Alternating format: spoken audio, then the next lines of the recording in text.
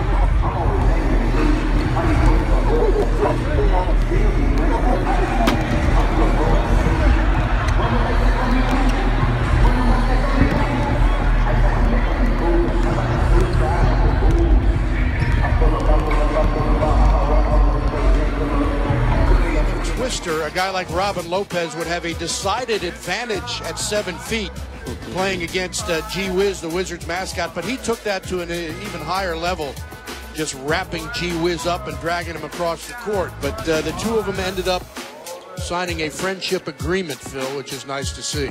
Well, I, haven't seen Lopez sign this yet. Oh, there he goes. There Okay, now, now it's official.